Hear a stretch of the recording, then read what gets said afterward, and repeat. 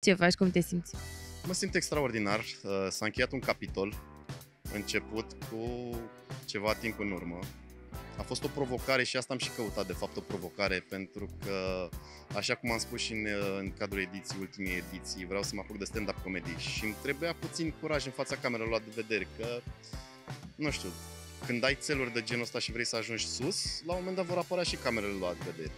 Iar eu de obicei eram foarte fixat cu ochii în ele, nu știu de ce, nici acum nu știu. Uh, mă bucur că am ieșit cu și cu o sumă de bani din, uh, din show, suficient de mare, dar și în același timp suficient de mic încât să conteze puțin. Sigur, sigur vor ajunge la cel mic cadou de sărbători la un moment dat. Îi pun deoparte, nu de acum, că îl, să știe el că e acolo, să-și ia ce vrea de ei. Uh, o echipă minunată aici și toți cu care am concurat și din trecut și acum m-am simțit extraordinar cu ei. Ai avut intuiție bună și la cutia 25. Da, mi-a spus ceva Ionuț, uh, domnul instructor de pilate, zice, băi, zice, tu când alegi ceva, ce ai grijă, ia de lângă. Și m-am gândit la cutia ce. Era în mijloc, zic valoare 0, zic ia să mă duc eu după numele meu. Și am luat aul. Și pare că a fost cu noroc. Ce vei face cu această sumă de bani? Ți-am spus, îi las copilului, îi pun acolo frumos într-un cont și să decide el ce cadou își cumpără.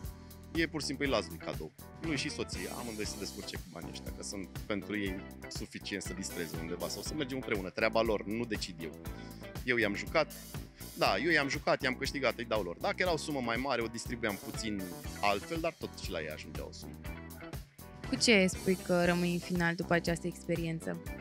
Păi am rămas cu experiența asta a platoului, care este minunată, nu mă așteptam, e prima oară când sunt într-un platou de televiziune, uh, cu experiența unor prieteni noi, ceea ce îmi face mare plăcere, că mi-am, am cunoscut oameni noi și oameni mișto, chiar, nu știu, că la unii nu te aștepți și te uimesc așa deodată câte o chestie și zici, wow, tu?